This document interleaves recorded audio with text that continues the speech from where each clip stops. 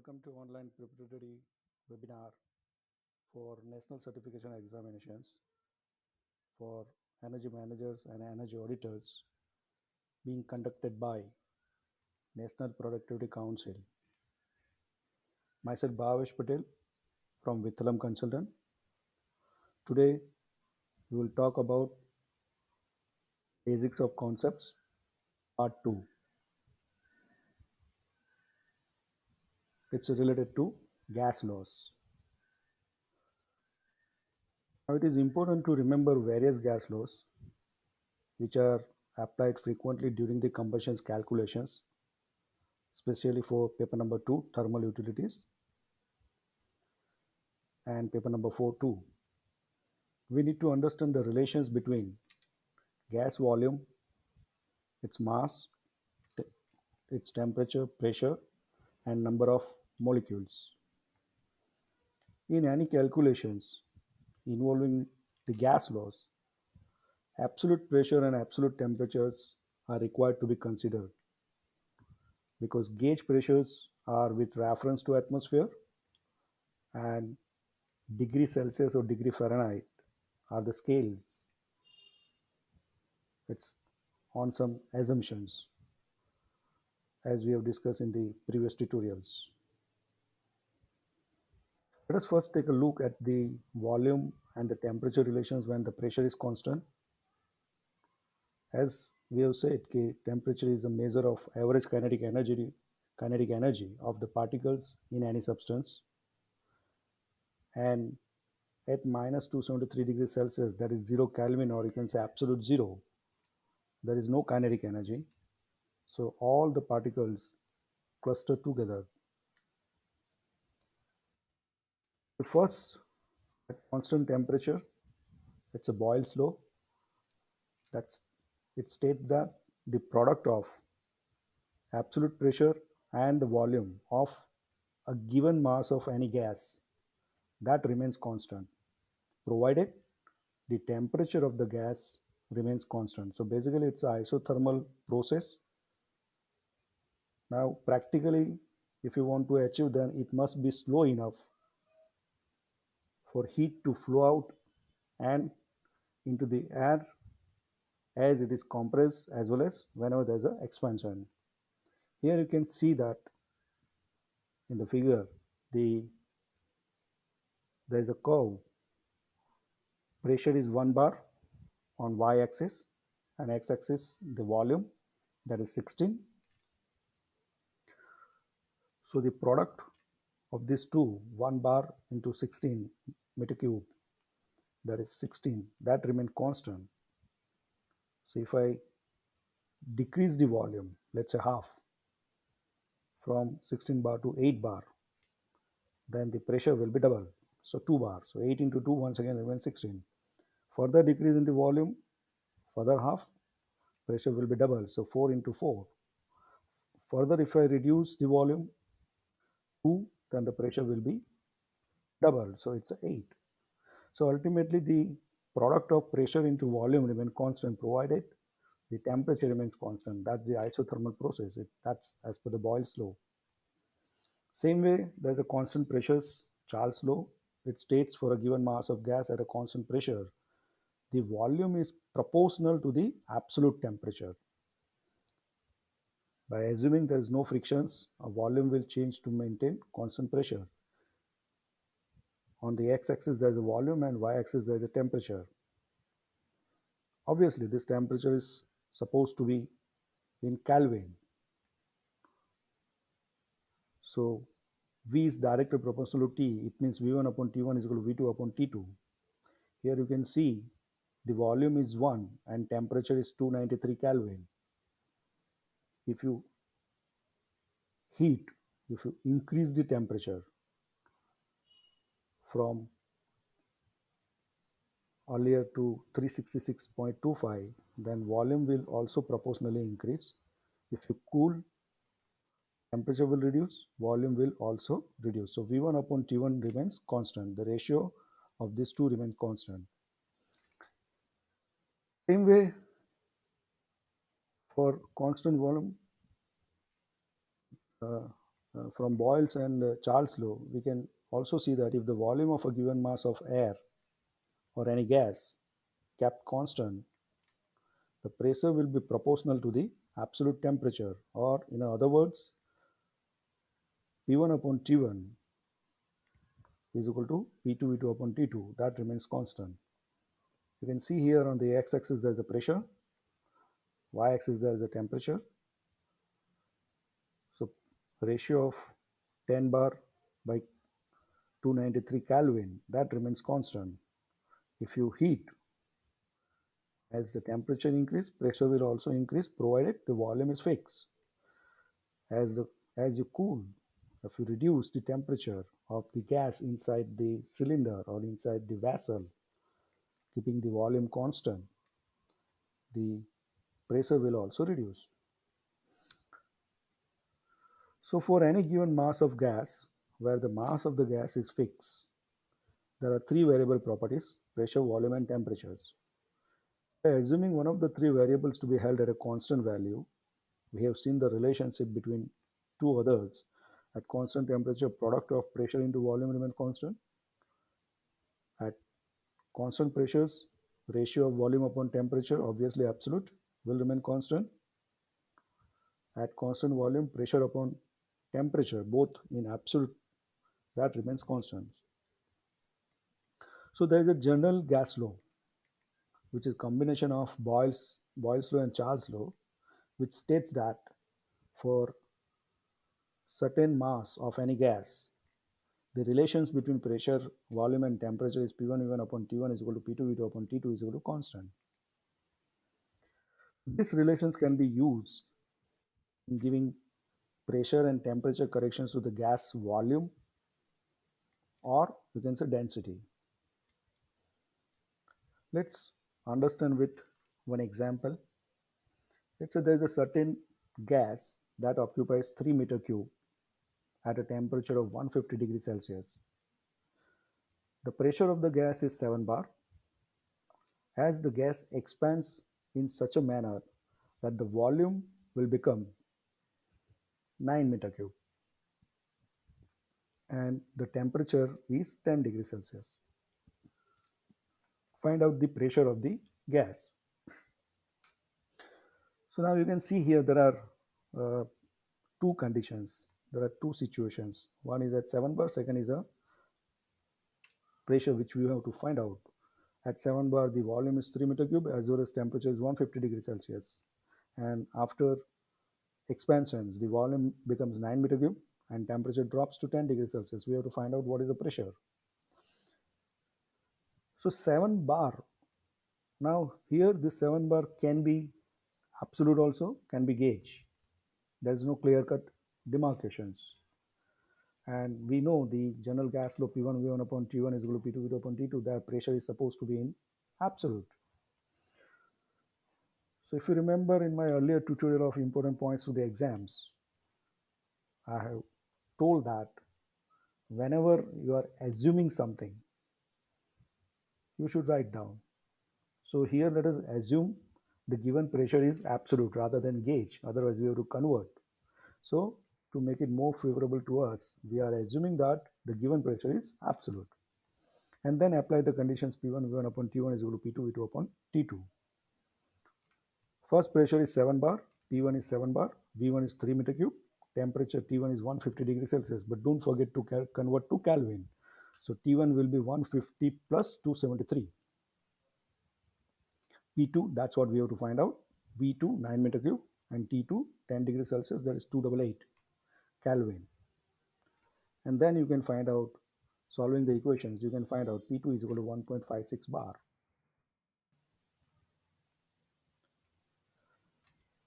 Then many times you will see for uh, uh, calorific value of the gaseous fuel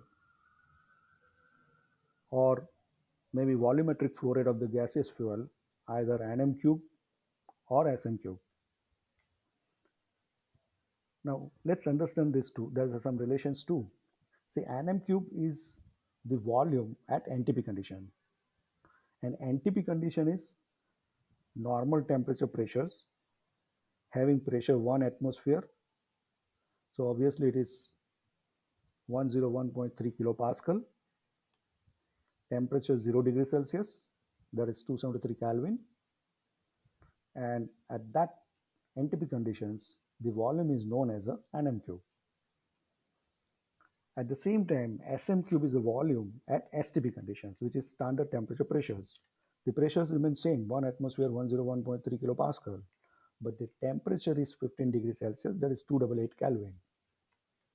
And at STP conditions, volume is denoted as Sm cube. So if I apply the general gas law P1 V1 upon T1 is equal to P2 V2 upon T2 and put the two conditions, one is NTP and one is STP, we as the pressure remains constants, we can say V1 upon T1 is equal to V2 upon T2. V1 is let's say Nm cube divided by T1. Nm cube at NTP conditions T1 is 273 is equal to V2 which is Sm cube divided by T2 that is 288 Kelvin. The 1 Nm cube is equals to 273 divided by 288 Sm cube that is 0.948. So in paper number 4, many times the flow rate will be given in Sm cube per hour and calorific value might be given in so and so kilocalorie per Nm cube. So this is how the relations is. And if you forget the relations between Nm cube and Sm cube, you can derive from this P1 V1 upon T1 is equal to P2 V2 upon T2. One condition is NTP, second condition is STP. Have pressure is same. So V1 upon T1 is equal to V2 upon T2. Now let's take a look at the volume temperature pressures with reference to mass. Earlier the mass was constant. So there is a gas equations, characteristic gas equations, which states that or express as PV is equal to MRST, where P is pressure in kilopascal, that is kilonewton per meter square. V is a volume in meter cube, M is a mass in kg, Rs is a specific gas constant in kilojoule per kg Kelvin, which varies from gas to gas, while T is a temperature in Kelvin. now, if Rs, if you see the unit of Rs, kilojoule, joule is nothing but Newton meter. So in that case, pressure will be always in kilopascal because Pascal is Newton per meter square. So whenever there is a Joule will be there, which is Newton meter. Same way, suppose there is a kilowatt. As I said, watt is Joule per second. Joule is Newton meter. So the pressure will be always in Pascal. Remember this. This is a fundamental. But the earlier equations have a RS, which is a specific gas constant varies from gas to gas.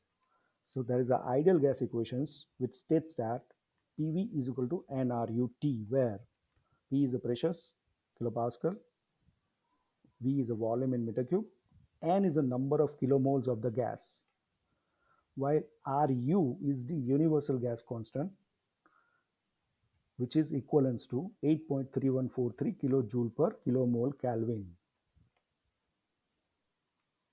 Earlier, the specific gas constant was kilojoule per kg Kelvin. Here it's a universal gas constant, so kilojoule per kilomole Kelvin. So there are no new terms is coming as a kilomole or mole. So let's understand that first what is mole and kilomole is. It is a measure of amount of substance. One mole signifies some quantity and that's the Avogadro number that is 6.023 into 10 to 23 molecules. If you can remember this figure, it's okay. If you don't remember, just forget it. No issue. Same way, 1 kilomole is 1000 moles is equivalent to 6.023 into 10 to 26 molecules. In a simple layman's language, please understand mole and kilomole is some numbers. It's a Avogadro's numbers. For example, 1 dozen is equal to 12 numbers. Now why 12? There is no logic. Somebody has defined 12, okay, it's a 12. But there is no logic. Same way here, in a simple way or layman's language, you understand one mole or one kilomole is some number. But there is a logic. The logic is it relates the mass with number of molecules.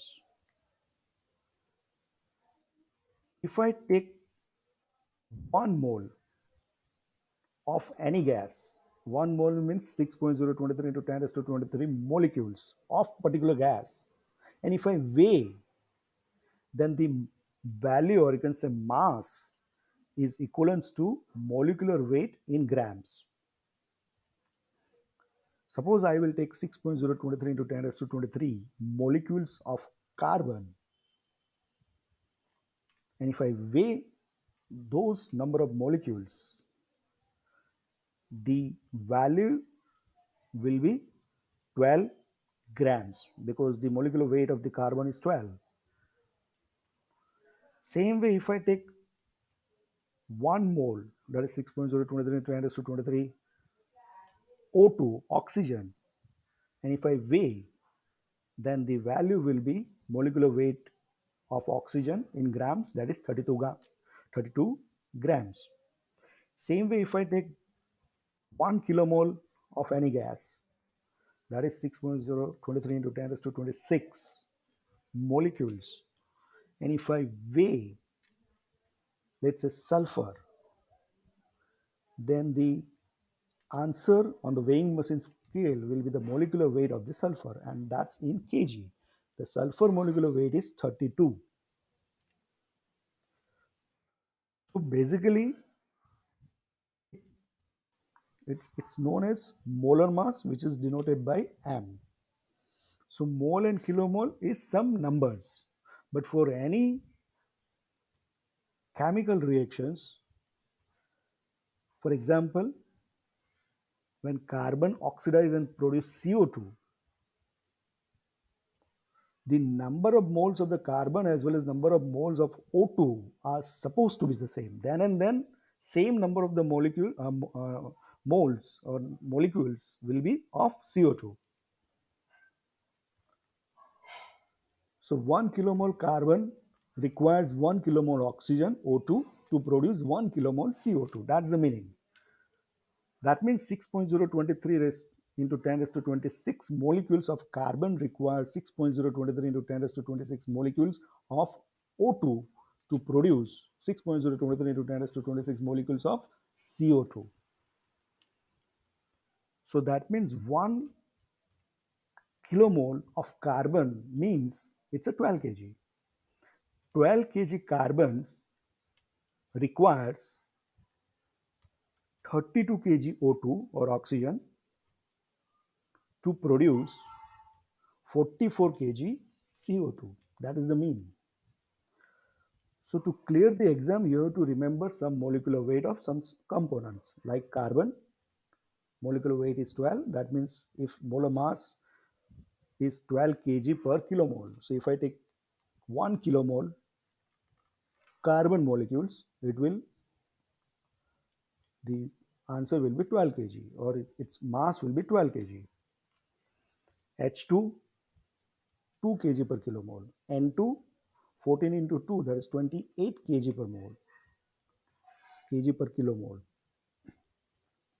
O2 that is 16 into 2 32 kg per kilomole, sulfur 32 kg per kilomole and then CO2 is carbon 12 plus O2 32 so 44 CO is 12 plus 16 that is 28 SO2 is 32 plus 32, so 64.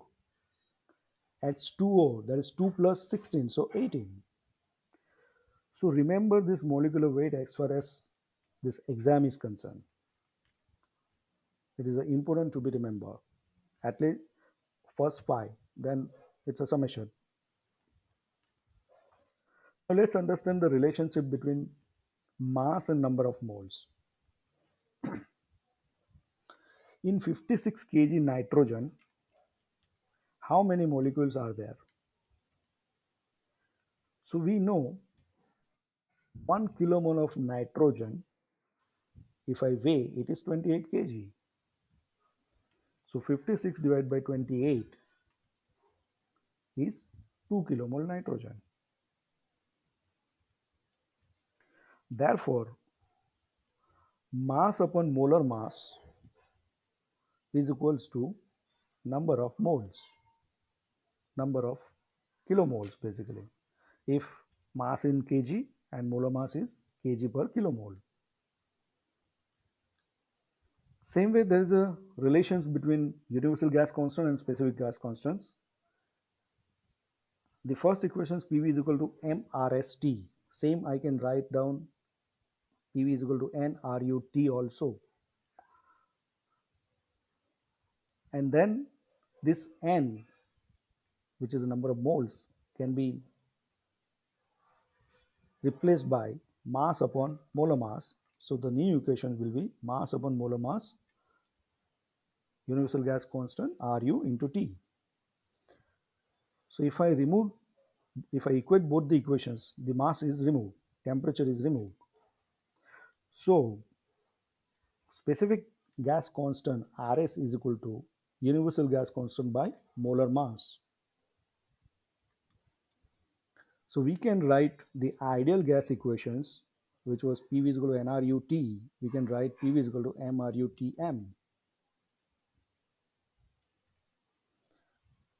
Uh, ideal gas equations MRST can be written down by MRUT by M. So we can calculate the Rs of any gas once the molecular weight or the molar mass of that gas is known. For example, Rs of O2 that is oxygen is equal to 8.3143 divided by 32 that is 0.26 kilojoule per kg Kelvin. Same way Rs specific gas con constant for CO2 is equal to 8.3143 divided by 44 that is 0.189 kilojoule per kg Kelvin. Now you can see here there is a O2 and CO2 both are ideal gas it's a but when there's a mixture like air we cannot calculate rs like that. In that we can equate we, we, we can use the ideal gas equations because we know the density at NTP conditions of air is 1.293 kg per nm cube. So the reciprocal of that density is a specific volume which is equivalent to 1 upon 1.293 is equal to 0.7734 nm cube per kg. Now when we are saying NTP it means pressure is 101.3 kilopascal and when we say temperature 0 degree Celsius means it is 273 Kelvin that's the NTP mean. So if I use the equations PV is equal to MRST Rs will be PV upon MT. P is 101.3 kilopascal. Volumes that is per kg it is 0.7734 and mass is 1 because we are talking about specific volume V by M and uh, temperature is 273 Kelvin. So the RS for such RS for air is 0.287 kilojoule per kg Kelvin. Same way by equating this, we can calculate the RS for different gaseous mixture provided we know the density or specific volume and pressure and temperature.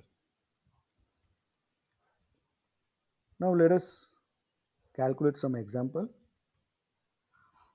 A steel cylinder of 77 liters of capacity contains CO2 at 27 degrees Celsius and pressure of 110 atm. Calculate the mass of gas contained in the steel cylinder.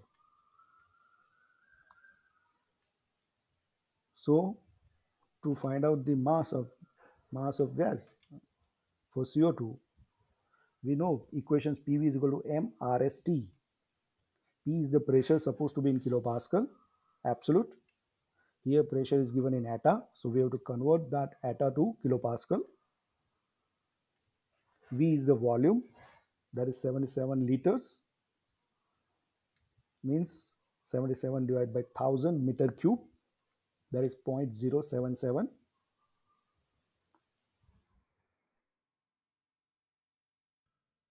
Then CO2, so molar mass of CO2 is equal to 12 plus 32 40 is equal to 44 T is the temperature 27 degree Celsius that is equivalent to 300 Kelvin.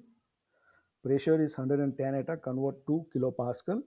So 1 atta is kg per cm square so 110 kg per cm square absolute. Here you cannot assume that given pressure is absolute. It is already given it is absolute there is no no need to go for the assumptions so 110 kg per cm square into 0.981 is a bar. Now convert that bar to kilopascal multiply by 100. So 10791 kilopascal. So RS is equal to RS for CO2 is equal to 8.3143 divided by 44. So 0.189 kilojoule per kg Kelvin. Now if you put the equations M is equal to PV is equal to MRST. So M is equal to PV upon RST.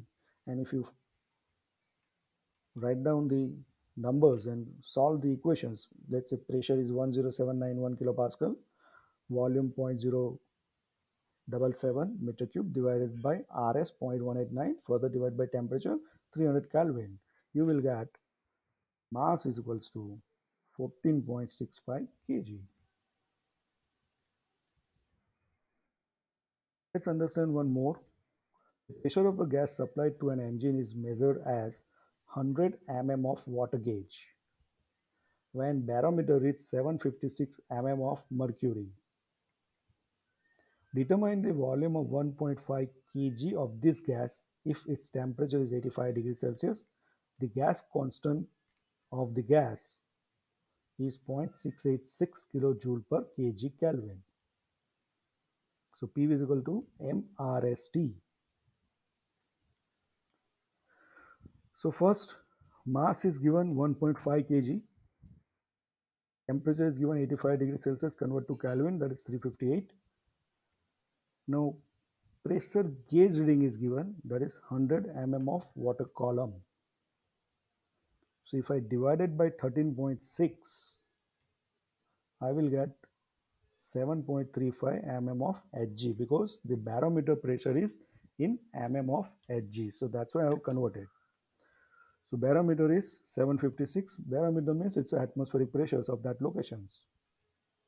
So the absolute pressure will be summation of these two that is 756 plus 7.35 will be the mm of Hg divided by 750 if you remember during our earlier tutorial we derived the 1 bar is equals to 750 mm of Hg. So if I divide by 750 I will get the bar and from bar multiply by 100 will give you kilopascal that is 101.78 kilopascal. RS is 0.687 kilojoule per kg Kelvin and I use the equations to find out the volume V is equal to MRST divided by pressure. Mass is given, RS is known, temperature is known, divided by absolute pressures in kilopascal 101.78 equivalents to 3.62 meter cube. So such numericals can come in paper number one using this ideal gas equations or characteristic gas equations. Now let's understand one more important fundamentals Avogadro's gas principle. Ideal gas laws PV is equal to nRUT. Now let us assume two different gases, nitrogen and CO2, mostly in flue gas after the combustions. And let's say they are the same pressure and temperatures, P and T. For nitrogen, there is a small N1 kilomole having a volume of V1 and for CO2 there is a N2 kilomoles that occupies volume V2. So if I put the ideal equation for these two different gas, I can write P V1 is equal to N1 RUT for N2 and for CO2 PV2 is equal to N2 RUT. So by dividing 1 divided by 2 pressure is gone we will say V1 upon V2 is equals to N1 upon N2. That means volume is directly proportional to the number of moles. So if any gas mixtures, if number of moles are same, then the volume occupied by both the gas are same. It's a 50% 50%. This is very important for combustion calculations. That's flue gas when we want to find out the flue gas components. But the condition is that pressure and temperatures are supposed to be remains constants for both the uh, you can say gas. Is also known as Avogadro's gas principle which states that under the same condition of temperature and pressures equal volume of all the gases contains the same number of molecules. Let's understand Suppose there is a NTP conditions. There are three different gas, hydrogen, nitrogen and CO2. Let's say I have a 1 kilomole of hydrogen at NTP conditions, so pressure is 1 atmosphere and temperature is 273 Kelvin. So if I put PV is equal to nRUT, then I will find out volume of 1 kilomole hydrogen will occupy 22.4 meter cube.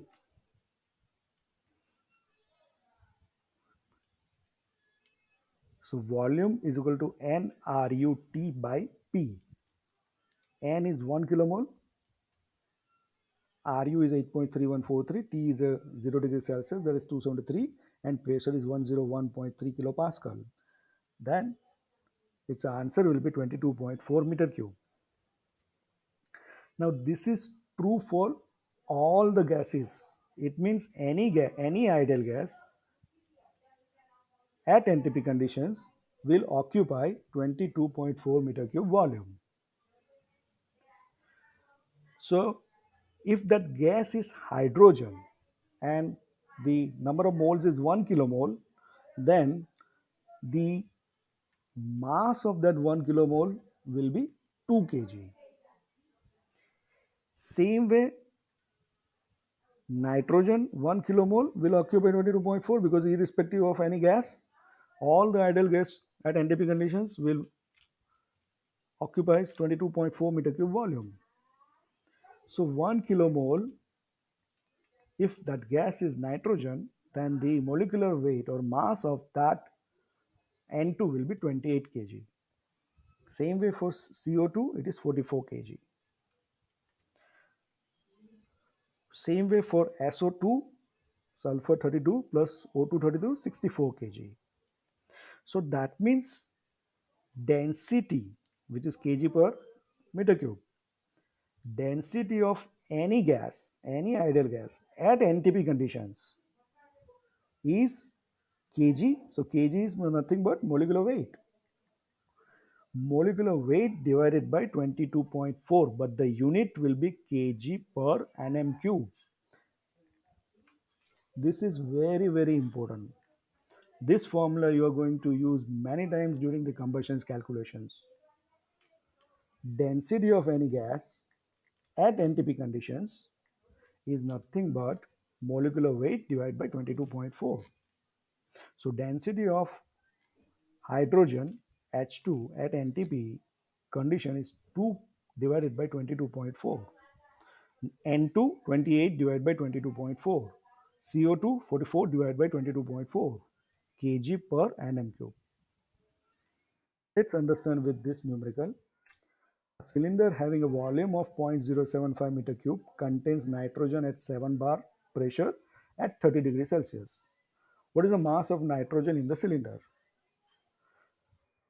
First, let's calculate volume at NTP in nm cube.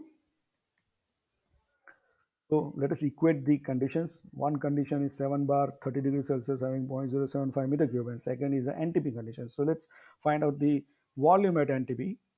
We know pressure at NTP is 101.3 kilopascal and uh, or you can say 1.013 bar. If here there is a bar, we can go for bar 2 and the temperature is 30 0 degrees Celsius at NTP. So 273 Kelvin. So let's assume the given pressure is absolute. P1 is 7 bar volume is 0.075 temperature is 273 plus 30 that is 303 kelvin is equal to p2 atmospheric conditions in bar is 1.013 into v2 divided by 273 so the v2 will be equals to 0.467 nm cube. Now we know that mass of any gas uh, 1 kilomole nitrogen will occupy 22.4 nm cube. And the mass of that 1 kilomole nitrogen will be molecular weight that is 28 kg. Or I will say density of nitrogen at NTP condition is 28 divided by 22.4 or third way if the volume is 22.4 nm cube, then the mass is 28 kg. So if the volume is 0.467 nm cube of nitrogen, then the mass will be 0.467 into 28 divided by 22.4. That's nothing but density, which is equivalent to 0.584 kg. That's how we can find out with the help of Avogadro's principle. Obviously, you can find out the same answers from ideal gas equations too m is equals to pv upon rst pressure is 7 bar absolute convert to kilopascal so multiply by 100 volume is 0.075 meter cube rs is 8.3143 kilojoule per kg kelvin kilomole kelvin